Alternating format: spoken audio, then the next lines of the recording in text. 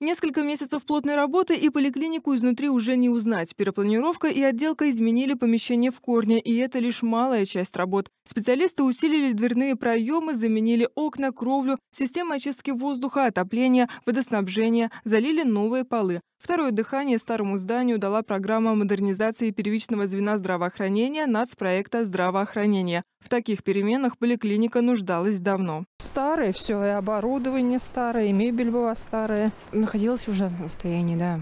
Ничего не скажешь. Отремонтировать мы будем очень рады. Скорее бы открыли.